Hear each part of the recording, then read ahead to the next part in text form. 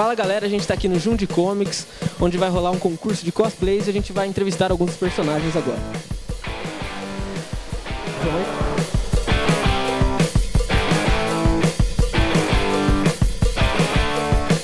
Estamos aqui agora com Charada. E Charada, você podia falar um pouco do seu personagem pra gente? Claro, eu sou o Charata, um dos maiores inimigos do Batman.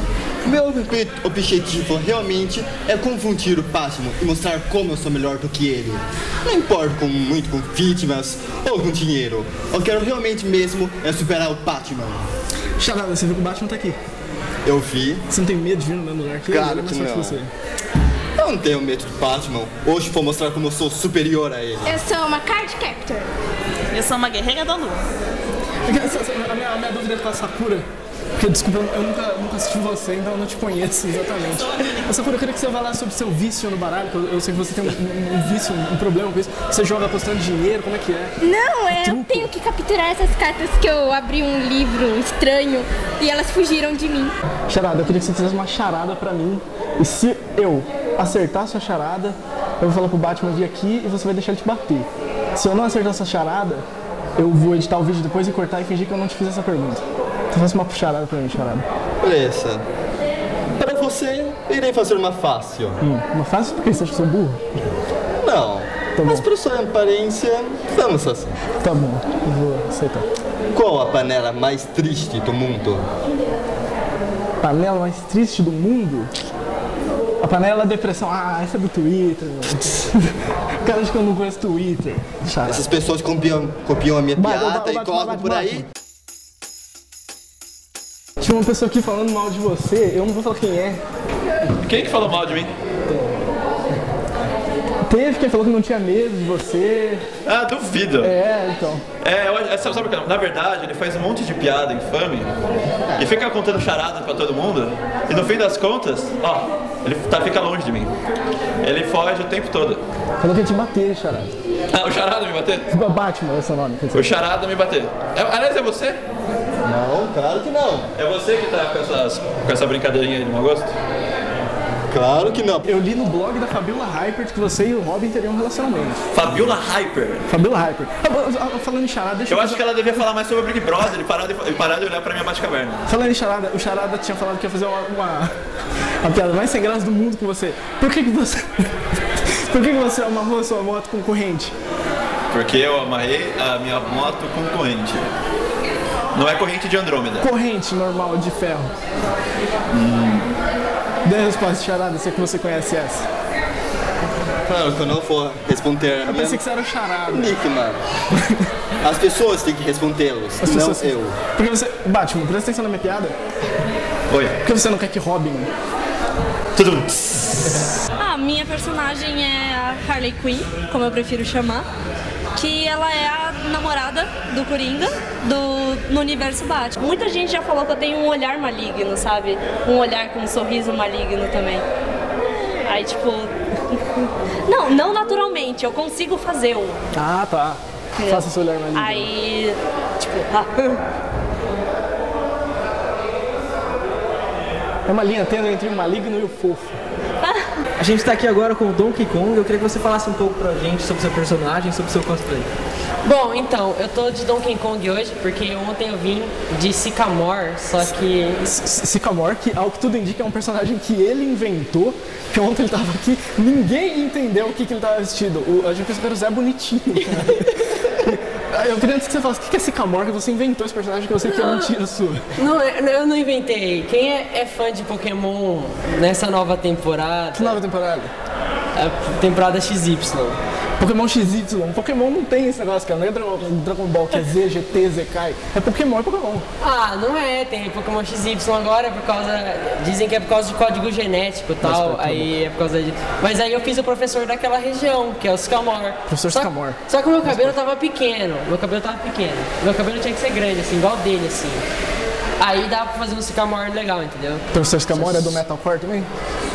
Não, ele é um pouquinho mais hétero. Agora eu queria que você falasse dessa, que pelo que eu vi, a fantasia mais perfeita. Tá Sim, igualzinho claro. Donkey Kong, o óculos igual o óculos de Donkey Kong. Você pode perceber que os pelos pubianos de Donkey Kong eu tenho. Pelos né? pubianos faciais. Pubianos na cara. Isso que eu percebi agora, o nexo. Pelos fobianos são aqui. Eu também tenho, como Donkey Kong. Tem mesmo? Tem aí. Tem, tem. Bastante, bastante. Bastante. Já, já é considerável pra ser um macaco. Eu acho que é o mais perfeito daqui. É o mais perfeito. Você não acha que eu vou ganhar o, Eu, concurso eu, cosplay? eu acho que você já ganhou. Por mim eu nem fazia. Se eu fosse já não fazia concurso. Charada, que charada? Que Charada? Batman? Vai vir a charada, cara. Batman. Quando você tem o Donkey Kong. Quem é Batman? Agora eu só queria, pra encerrar aqui com ele, que ele interpretasse um pouquinho o personagem. Põe o microfone perto da boca dele, Lucas. Qual, qual personagem você quer que eu interprete? O que você inventou que, existe. não é. O que existe. o que exista. O Donkey Kong. Você quer que eu imite o Donkey Kong? Por favor.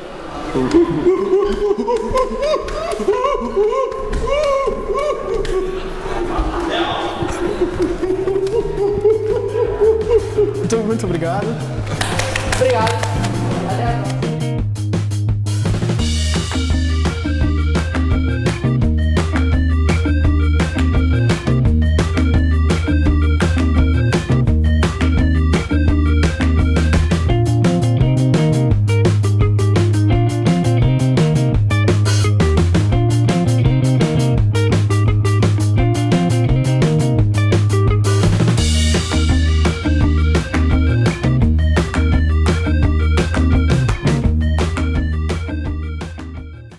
Saber como é que foi aí ficar em primeiro lugar nesse concurso.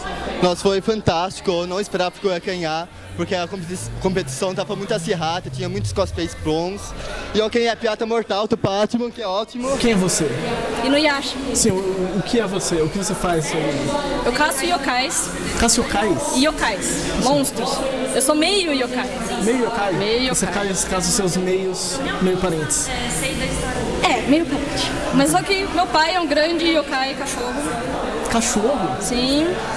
Só que infelizmente ele morreu, não pude conhecer ele. Você é meio cachorro? Sim. Pô, Late e tudo mais? Xixi no poste? Esse negócio de cachorro? Nem meio, nem meio isso. Só a maldita da Kagome que resolveu colocar esse colar. E toda vez que ela fala senta, eu caio. É uma beleza. Senta. Ou é só ela? É só ela, cara. Ah, achei que era qualquer pessoa. A, a era venenosa, na verdade, ela, é, ela acabou ficando imune a, a todos os tipos de toxinas e venenos e fungos e bactérias, uma vez que ela tentou ser, é, que, ela, que tentaram envenená-la. Então agora ela tem o controle sobre essas toxinas e sobre as plantas, e aí ela acaba envenenando as outras pessoas e fazendo essas maldades como vilã do Batman. O que ele falou- eu vi que ele falou sobre seu cheiro. O que, que tem a ver com o seu cheiro? É exatamente isso, porque um dos poderes da, da era venenosa é controlar os feromônios. Então ela pode fazer isso tanto para causar o mal para as pessoas, para matar as pessoas e também para seduzir as pessoas. Aquele cara muito grande ali é seu namorado. É. Então eu não vou pedir pra sentir seu cheiro. Aliás, eu, eu vi que ele é bem grande, ele tá de cosplay de Bane, de Hulk, alguma coisa. Não, vai ser o próximo. O próximo vai, dele vai ser de Se Hellboy. ele pintar de Bane, é o Hulk perfeito. Bom, eu queria saber como é que foi o evento, se foi, assim, correu tudo certo. Sim, correu tudo certo. É bem legal a gente ver que cada ano cresce o número de participantes. Assim, hoje foi uma correria, muita gente, o lugar ficou pequeno aqui assim para o que eu tinha planejado. Certo, e como que estamos na oitava edição já, como é que as pessoas ficam para ficar, fazem para ficar sabendo das próximas edições? Tem uma página do Facebook chamada Jundi Comics com CS no final. E eu acho que ele é o melhor caminho aí para ficar sabendo quando tem os eventos. Fica ligado. Certo, só agradecer o Ed aqui pelo evento todo, por ter aceitado que o Outra Pega viesse fazer a cobertura, já que a gente não tem sido muito aceito em muitos lugares. Então, muito obrigado, Ed. É isso aí.